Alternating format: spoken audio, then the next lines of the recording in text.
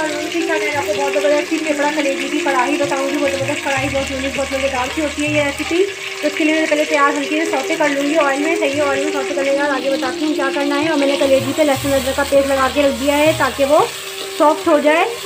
तो अगर आप अपनी कलेजी सॉफ्ट करना चाहते हैं तो मैं लहसुन अदरक का पेस्ट पहले से लगा के रख दें और कोई ज़्यादा पकाना भी नहीं है तो आपकी कलेजी सॉफ्ट बनेगी। तो सौते हो गई, इसमें फेफड़ा हम डाल देंगे। लहसुन अदरक का पेस्ट, और थोड़ा सा इसमें डालेंगे जीरा पाउडर। क्वार्टर टी स्पून और उसको अच्छी तरह से हम भून लेंगे। खेपड़े को बिल्कुल अच्छी तरीके से फ्राई कर लेना है इसमें।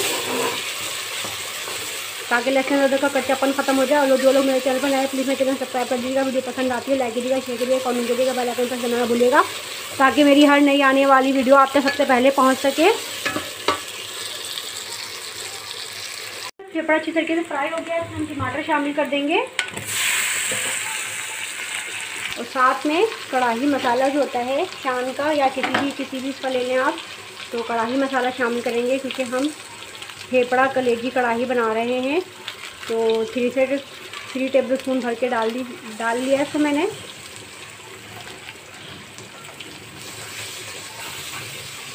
थोड़ा सा इसमें दही डालूँगी। हरी मिर्च डालना चाहते हैं, हरी मिर्च डालें, वरना पेस्ट हो तो पेस्ट डाल दें। मैं पेस्ट डाल रही हूँ हरी मिर्चों का। और उसको अच्छी तरीके से भून लेंगे। बहुत ही ज़बरदस्त ये रेसिपी मज़ेदार थी, कढ़ाई बन जाती है फेफड़े कलेजी की और बिल्कुल भी ही की स्मेल कुछ नहीं होती। और बहुत सॉफ्ट मुलायम, मलाई मक्खन की तरह बिल्कुल अच्छी मज़ेदार थी, बेहतरीन कलेजी और फेफड़ा बन जाता है ये। और जायका भी थोड़ा अलग हटके होता है। एक ही जायका खा खा के बंदा थक जाता है तो कलेजी फेफड़ा कड़ाही आप ट्राई ज़रूर कीजिएगा। मुझे कमेंट बॉक्स में कमेंट कीजिएगा आपको कैसी लगी ये रेसिपी इसको हम अच्छी तरीके से भून लेंगे।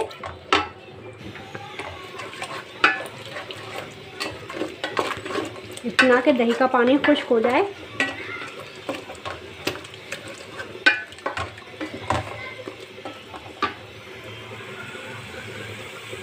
डाल के इसको गलने के लिए रख देना फेफड़ा को याद रहे फेफड़ा गलाना है कलेजी, हमें इसमें शामिल नहीं करनी, कलेजी ज़्यादा पकाएँगे, ज़्यादा पत्थर हो जाएगी, इसको पानी में कलेजी को नहीं गलाते हैं।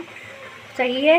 तो बस इसको हम फेफड़े को गला लेंगे, फिर आगे बताती हूँ क्या करना है stay connected with me viewers फेफड़ा हमारा अच्छी तरीके से गल चुका है, सही है, अब इसमें जो है पानी बिल्कुल नहीं है खुश होने चाहिए हमें बिल्कुल भून लिया है तो अब इस पॉइंट पे हम डालेंगे कलेजी, क्योंकि कलेजी में ज़्यादा पकानी नहीं है तो इसलिए पानी पहले से हमने खुश कर लिया है।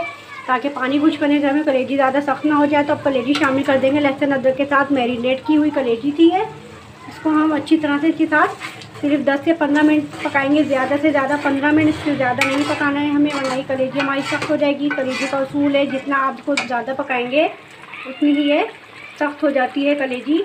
इसलिए आप कलेजी को ज़्यादा नहीं पकाइए।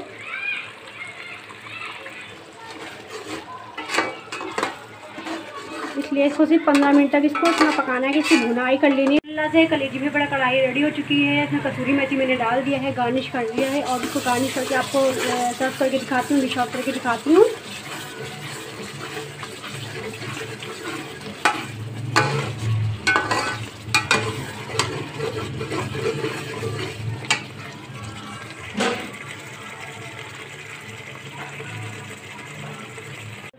ज़बरदस्त करेजी पेपड़ा।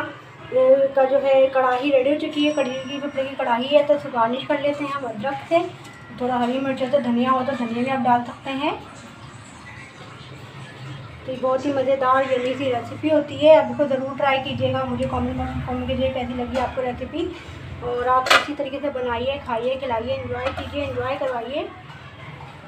जहाँ रहिए खुश रहिए, आबाद रहिए। अल्लाह पाक हर उस जगह से आपको खुशी और नियमतें अता करें। यहाँ से आपका गुमान ना हो। आमीन।